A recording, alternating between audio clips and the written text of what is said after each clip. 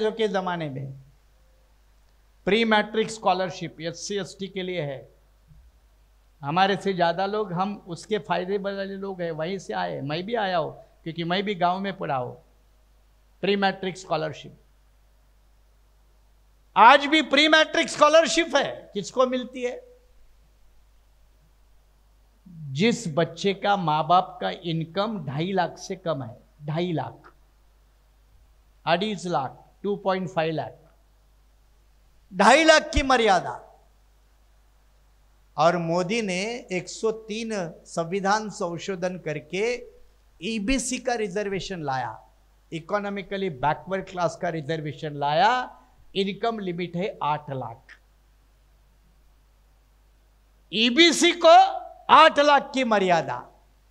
और pre matric scholarship के लिए मेरे आदिवासी दलित इनके लिए इनकम मर्यादा ढाई लाख। क्या इतनी सी बात हमारे एमपी एमएलए के दिमाग में नहीं आती? कितने उदाहरण गिने? कितने एग्ज़ाम्पल दे दे?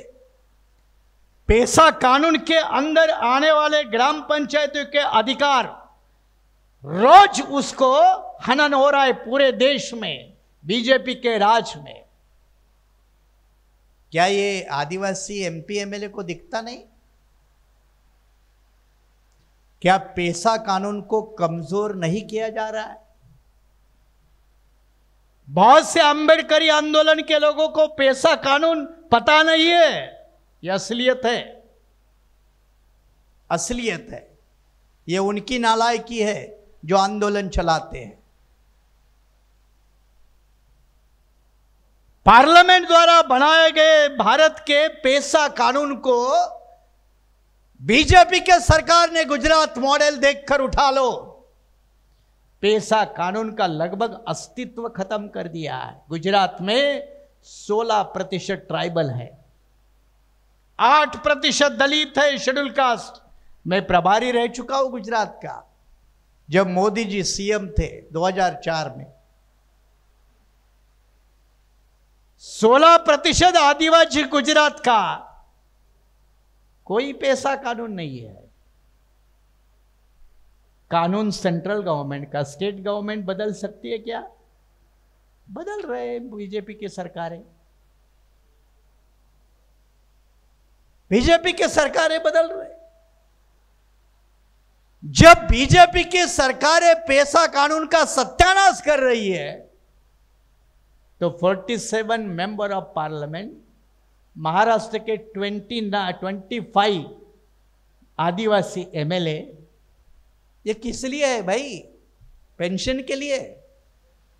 मरने के बाद परिवार को पेंशन मिले इसलिए? तो इनके पेंशन का बोझ भी सरकार के तिजोरी के ऊपर क्यों? क्यों इनको पेंशन मिलनी चाहिए? वैसे भी बीआरएसपी की एक सीधी भूमिका है कि एमपी एमएलए को पेंशन देने के लिए क्रिमिलेयर लगना चाहिए। साला सचिन तेंदुलकर को पेंशन देने का मतलब क्या है? बताओ ना। वो रेखा रेखा मतलब? वो तुम्हारी बाजू वाली नहीं वो, वो रेखा। अब उसको पेंशन देने का मतलब क्या है? वो मल्ल्या। उसको भी पेंशन। अब मुझे बताओ, देश के भागने वाले लोगों को पेंशन देना चाहिए क्या?